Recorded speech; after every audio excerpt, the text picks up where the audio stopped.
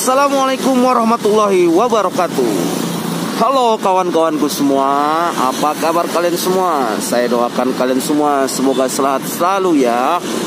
Dan tanpa kurang suatu apa pun juga Agar bisa terus memantau channel kami Yaitu Rangkuti Videografi. Oke kawan-kawanku semua Pada kesempatan kali ini Saya sedang berada di Jalan SM Amin Tabek Gadang, tepatnya di kota Pekanbaru. Dan misi kali ini saya akan hunting ataupun uh, apa namanya belusukan ke full bis Sampagul ya. Yang ada nanti di arah ujung jalan sana nanti kita akan cari fullnya di mana ya. Nanti saya akan uh, ubak-ubak dulu fullnya Sampagul seperti apa ya. Dan nanti kalau ada kesempatan ada waktu juga saya akan pergi ke pul-pul bus yang lain seperti ALS dan lain-lain ya. Oke, ikuti terus perjalanan saya ya sampai di Pul Sampagul. Oke, come on kita jalan dulu ya.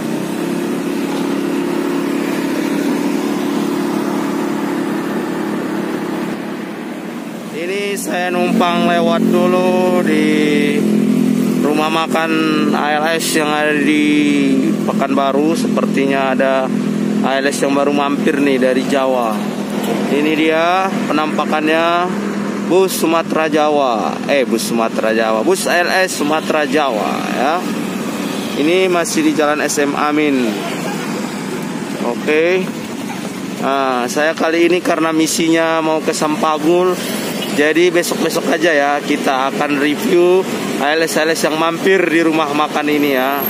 Oke terima kasih. Lanjut. Ini dia penampakan jalan SM Amin. Pekanbaru ya. Ini di sore hari. Tepatnya sekitar tengah lima ya. Waktu Indonesia bagian barat sekali. Nah kalian tengok ya Kayak mana kota di Pekanbaru Di depan kita ada bus Putra Raplesia kawan-kawan. Ini juga masih di jalan SM Amin. Putra Raplesia dari Laksana. Di depan kita ini ada bis apa ini pariwisata ya. Wah, banyak banget nih bis pariwisata Pekanbaru depan kita ada Putra Pelangi ya, sebelah kanan. Itu markasnya Putra Pelangi itu. Nah, ini bisnya orang Aceh. Nah, itu dia kawan-kawan. Si kuning-kuning sudah mulai kelihatan. Si kuning atau bis Sampagul ya. Ini dia. Udah sampai di poolnya, alhamdulillah. Ada lagi dua bus lagi bertengger nih ya. Oke Bismania Ini abang-abang kita lagi pada berbengkel.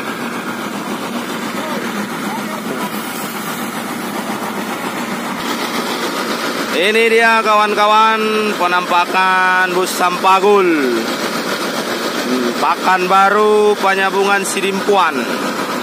Lagi persiapan Persiapan-persiapan perbaikan mesin ya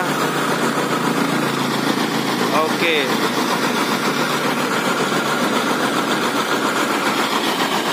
Ini abang kita di bawah juga ada.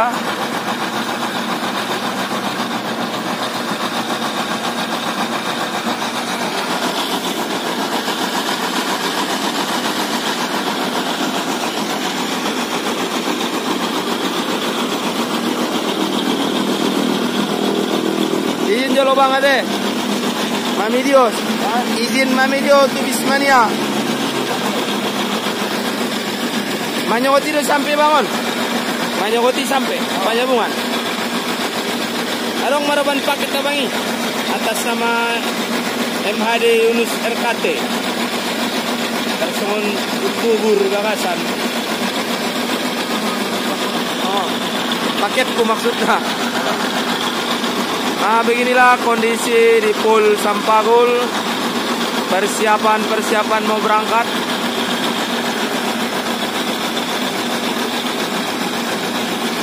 Aman di jalan bang, mungkin di jalan aman tuh. Pemeriksaan COVID, ada ngopi di Sumbar. Syaratnya pula penumpang. Syarat penumpang perlu maruan surat sehat. Bulan maruan dia bisa lewat. Dia terselamat kau ni. Apa itu lah kalau penyambungan? Maruan seminggu naik. Hah?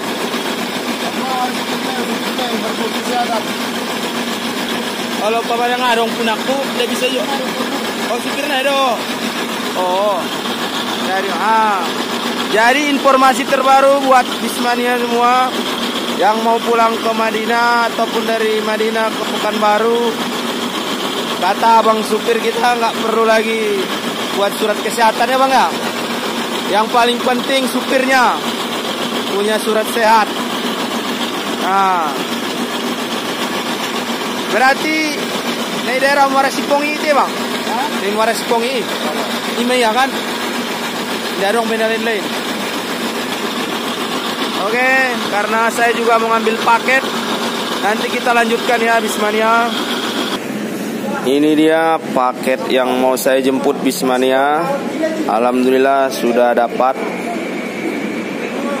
Dan ini dia penampakan Sampagul di loket ataupun pul Sampagul Pekanbaru. Dan informasi buat kalian semua, biasanya Sampagul memberangkatkan dua armada tiap harinya.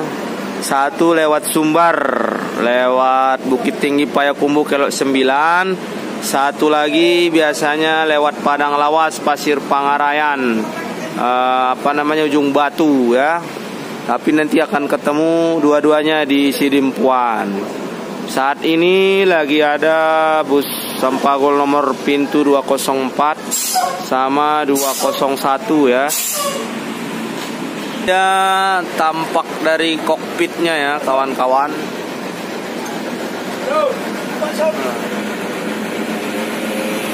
Ini abang ini istilahnya kenek kalau di bus Sampagol. Gimana perjalanan di jalan bang? Aman? Lewat Sumbar apa lewat uh, Sibuhuan? Sumbar. Pemeriksaan pos covid aman. Kalau buat penumpang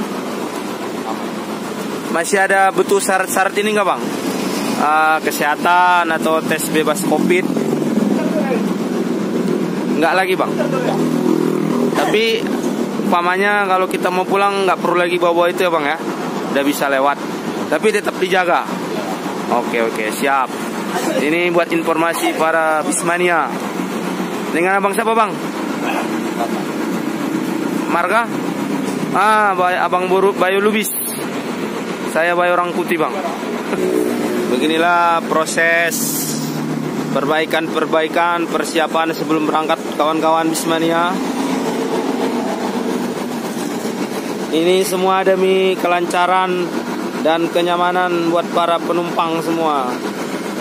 Jadi jauh sebelum berangkat sudah dipersiapkan baik dari kondisi ban, kesiapan mesin, begitu juga dengan kebersihan kabin penumpang. Oke. Ini dulunya bus pemain Jawa Medan Jakarta, tapi untuk saat ini trek Jawa diistirahatkan dulu sementara.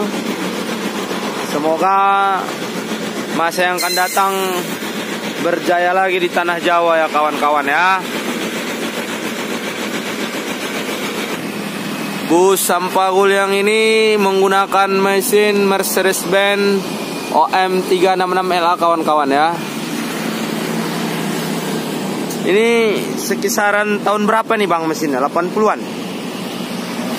Wah ini OM36LA 366LA ini kisaran tahun 80-an kawan-kawan tapi masih eksis mungkin perawatannya bagus jadi masih berjaya di lintas Sumatera kawan-kawan ya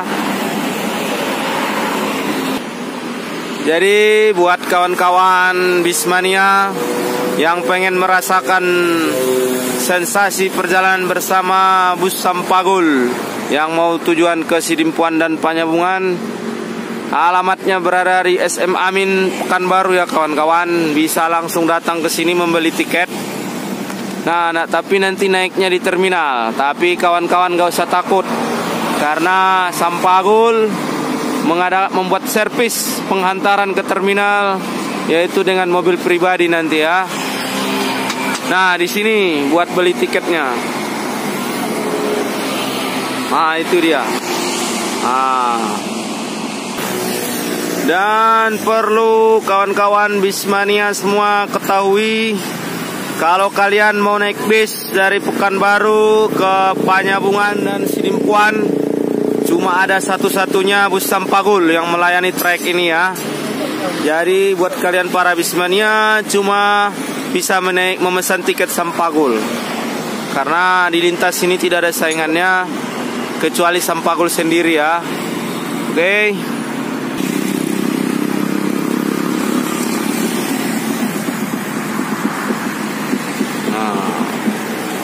Wisata. Ini sedang membersihkan bagian belakang bokongnya bus Sampagul karena sudah selesai diperbaiki dan sudah selesai diservis. Mesinnya jadi perlu di lap-lap dan dibersihkan dulu biar kinclong ya kawan-kawan. Biar nanti pas jalan menuju Sumatera Utara dia kelihatannya ganteng ya kan Nah, ini busnya kelas ekonomi ya, tanpa AC, AC-nya AC alam. Jadi tinggal buka kaca aja. Oke kawan-kawan. Nah dari atas itu ada kaca yang bisa dibuka. Tapi tenang aja karena ini jalannya malam, suasananya lumayan dingin lah, nggak sepanas di siang hari ya.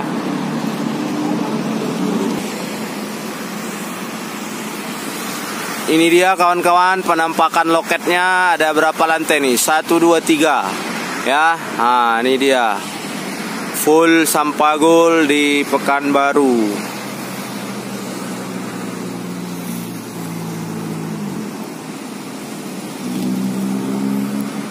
Sampai di sini dulu ya perjumpaan kali ini dalam review full loket ALS Pekanbaru yang ada di Jalan SM Amin ini ya. Terima kasih buat kawan-kawan semua yang sudah like, share, komen, dan subscribe agar terus channel kita ini memberikan karya-karya yang baik ya dan akan memberikan video-video terbaru. Wassalamualaikum warahmatullahi wabarakatuh. Dadah, horas.